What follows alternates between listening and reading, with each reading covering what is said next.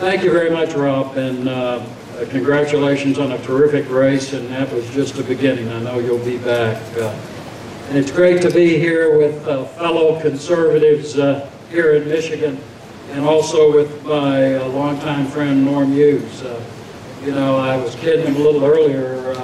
Uh, just about everybody uh, claims to be a Reaganite these days, but uh, Norm was a Reaganite when it wasn't cool or in fashion to be one. He was part of the, Reagan Revolution in 76, and we finished the job in terms of electing him in 1980. Uh, the book uh, written is called Bringing America Home, How America Lost Its Way and How We Can Find Our Way Back. And I talked in there about how we squandered the political capital the Goldwater Reagan conservatives uh, took more than three decades uh, to build up and really what happened in the post-Reagan period of American politics and how we lost our way and how we can find our way back. Because I think one of the strengths of uh, Ronald Reagan, not only was he a man of principle, not only did he bring a terrific group of experienced conservative outsiders uh, with him to Washington, D.C., Terry Davis is here, Norm, myself, many others, uh, but also what we did was really uh, lay out a strategy to really uh, bring America back. I'm going to talk about that in a moment and then lay out, if you will, a, new strategy, a new conservative uh, agenda for the future. But you know, it's interesting being in Michigan, there are two things that immediately uh, come to mind. I date myself from starting in the Goldwater movement and uh, really working as National College Chairman against a new force that emerged in the mid-60s. It was called the New Left.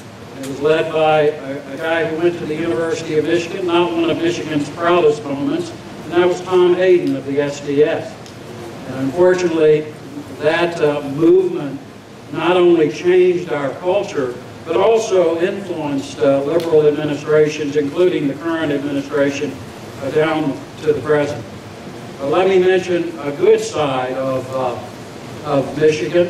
And that was the Reagan Democrats. And I think that term, as I'm told, was coined because so many people came behind Ronald Reagan here in Michigan who historically have been Democrats. And you begin to bring those Reagan Democrats home last year. Let's uh, complete the job and get them back as part of a new conservative majority in America next year. You know, as I said, uh, I date myself. I was a young Texan in Washington, D.C., who read a book called The Conscience of a Conservative by Barry Goldwater and The Road to Serfdom by F.A. Hayek and Up from Liberalism by Bill Buckley. And I decided at a young age that I was a conservative. And that was at a time when the Republican Party was dominated by the Rockefeller Republicans and nationally uh, the Democrats and liberalism were the dominant force in American culture and in American politics as well as in terms of our over, overall view of economic policy. So I'll be blunt. I thought I was joining the losing side when I signed on to the Goldwater campaign. In fact, I worked in the Goldwater for President campaign in 1964. But I thought it was the right thing to do. And you know, it was a pretty frustrating campaign running against LBJ after the assassination of John F. Kennedy, and we were doing very badly. But uh, there was a 30-minute address by a man named Ronald Reagan. And there was a man who laid out, if you will, a vision for conservatism and a vision for what ultimately became the Reagan majority. So out of that defeat in 1964, and because a tremendous number of people were willing to stand up for principle. We were able to see 16 years later Ronald Reagan come to power and really change the world. And interestingly enough, uh, and unfortunately, uh, we don't have 16 years to wait anymore in light of what's happening today. So we better get it right next year. I think back to Barry Goldwater, and I remember him saying that uh, I want to represent and speak on behalf of the forgotten Americans, the middle-class taxpayers and families who don't have lobbyists in Washington and aren't looking for loopholes in the law. He said big government, big labor, and big business, they got plenty of folks looking out for their interests. We've got to worry about the forgotten Americans, the majority of Americans who just are trying to raise their families and really uh, go back to our core principles. And in a way, that's what happened last year. That movement came back, just like it did when Ronald Reagan was elected. And I think as part of the Reagan transition team, you know, I, I remember being in Washington as power was transferred from Jimmy Carter to Ronald Reagan. Sometimes we tend to forget how serious the problems were back then. We had double-digit inflation. We had high unemployment comparable to what we have today. We had an international, we had stagflation, if you will, the combination, if you will, of, of high unemployment plus incredible double-digit inflation. At the same time, on the international front, we were seemingly on the losing side of the Cold War. In fact, the so-called foreign policy expert Henry Kissinger said at the time, we're on the losing side, we better cut the best deal possible with the Soviet Union. So when Ronald Reagan came into office, not only were we facing enormous difficulties on the economic front, but at the same time, we were facing a situation internationally which our hostages had been seized in Iran.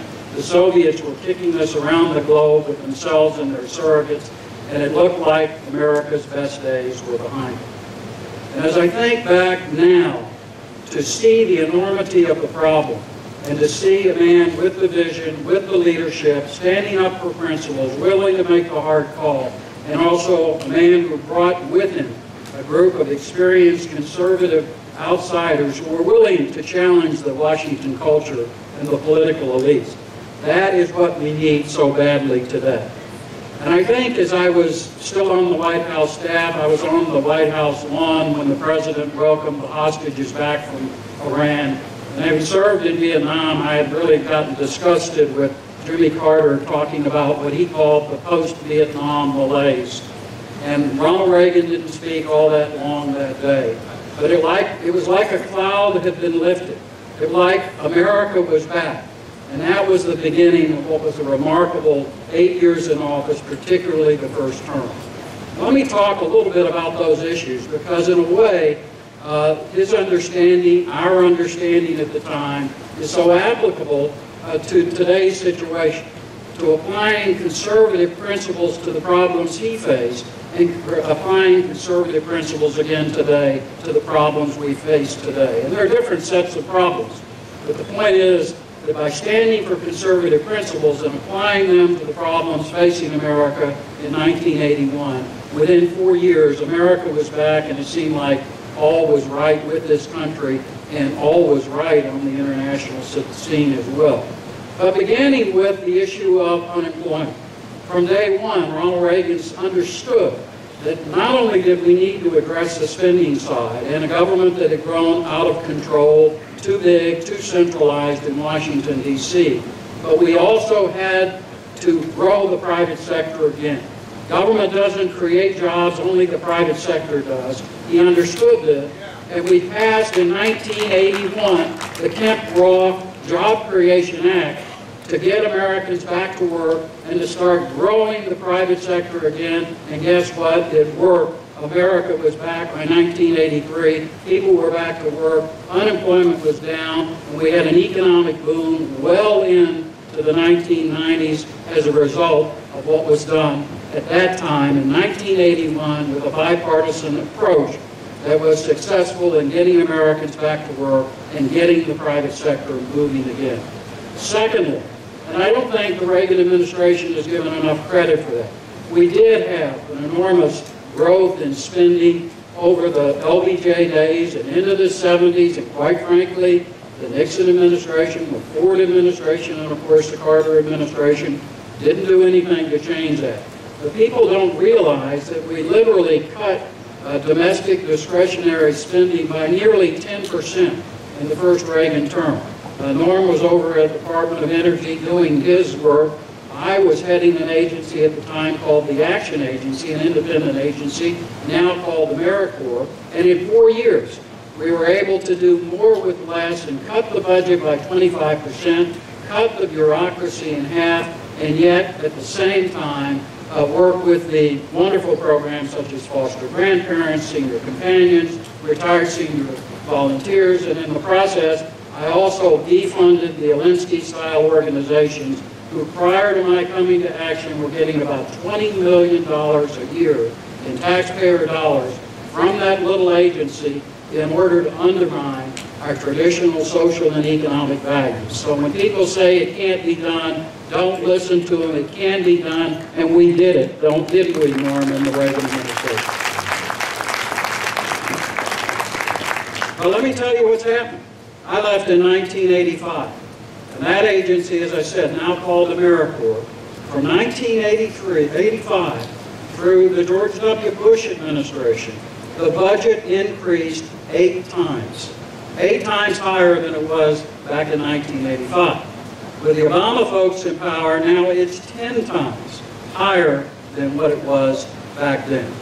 So we have got to have a overall policy that returns power and money to the states, gives power back to the people, and undoes, it, undoes this enormous move towards the nationalization and centralization of power and big government and a few big special interests dominating the American economy. It won't work, it isn't work, and it's got to be reversed, and we can do it if we have the civic courage, the political will, and the right group of leaders willing to make the hard calls. Rhetoric is cheap. It's hard to put it into action. We've got to take the action to get our country back and to get this economy moving again.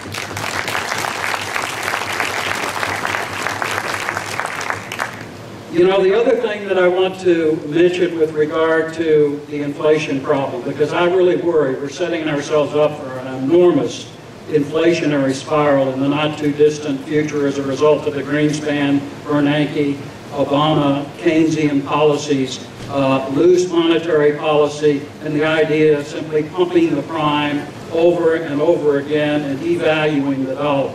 You know, Ronald Reagan faced some tough choices. He inherited double-digit inflation, but he stuck with Paul Volcker as he tried to bring inflation down, who was at the Fed, over the Fed at that time.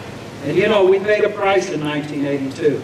But the thing about Ronald Reagan is he didn't make a decision based on what the polls said or what he had to do to get reelected or help people. He did what he did based on what he thought was for the good of the country. He stuck with that policy, and yes, we paid a price in 1982. But guess what? Inflation got down, and it's been down since. Unfortunately, I think it's about to come back. But again, an example of standing for your principles. It shows what makes a difference in the long haul and, and, and what a huge difference that makes. A sound dollar policy combined with growing the private sector and reducing domestic spending all help to fuel a decade of economic growth in our society.